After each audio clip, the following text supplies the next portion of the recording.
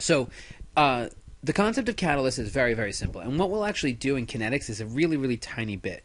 So, basically, all you need to know are these major things about catalyst. A catalyst is a substance that speeds up the rate of the reaction.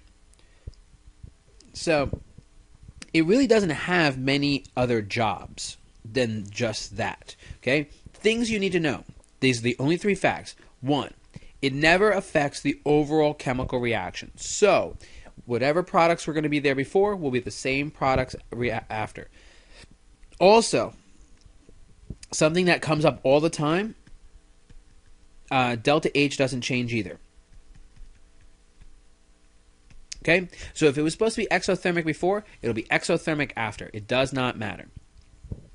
Uh, now, facts about catalyst is it remains unaffected during the chemical reaction, which means it comes out the same way it goes in.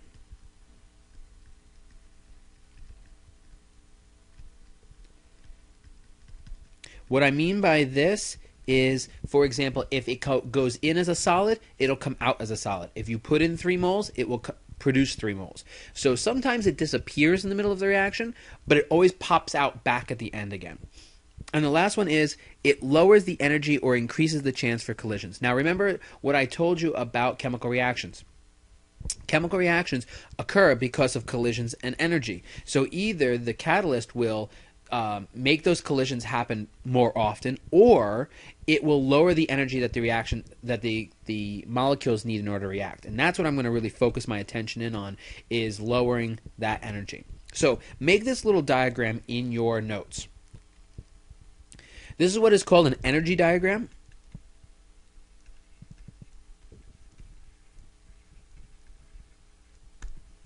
Okay, and what an energy diagram is, or energy pathway, sometimes a reaction pathway, um, it has a lot of different names, but they all basically mean the same thing. What it's showing you is this is the energy path of the chemical reaction. So you can see that here are uh, the reactants and how much energy they have when they start. You can see as they go, they must gain all of this energy in order to react. Now, the first place where the reaction occurs is right here at the very top. So notice, look at all this energy that the molecules must use up in order to even start reacting. Now, this does not mean it's an endothermic reaction. I will get into that in a second. Now, once it gets to the top of this hill, my reaction actually starts to occur. So, no reaction, there's no reaction all in here.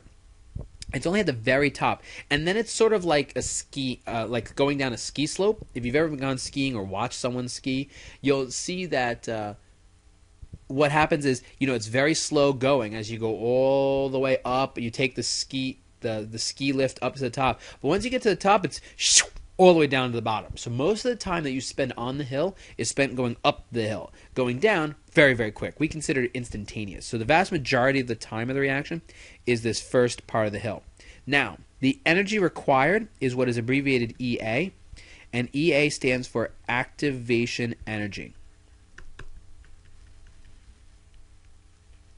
And the activation energy is the energy required to make the reaction occur. Okay? So again, the activation energy is the energy required to make the reaction occur. So now, once this reaction, the activation energy has been hit, reaction goes and boom, it produces my products. Now, how does a catalyst affect this? Well, a catalyst is going to lower that energy. So my reaction will start off exactly the same. It'll start up the same path, and then all of a sudden, somewhere in the middle, it will drop. And notice that the line comes bounce back down. This is the effect of the catalyst. Okay?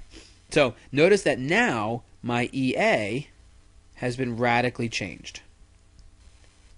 Okay? Now my reaction only needs to gain this much. This is the new EA. My catalyst EA. So notice that it doesn't need to change as much. It doesn't need to gain as much energy in order for that reaction to occur. And then, boom, it produces the same amount of products, same energy of the product, same everything. Now, how do I determine? There's one other piece of information that you can look at and find out um, information from in this problem. Okay, notice it's also this delta E. This delta E is my energy. So this is, determines whether or not this is endo versus exo. Okay, now how can I figure out if it's endo or exo? Simple.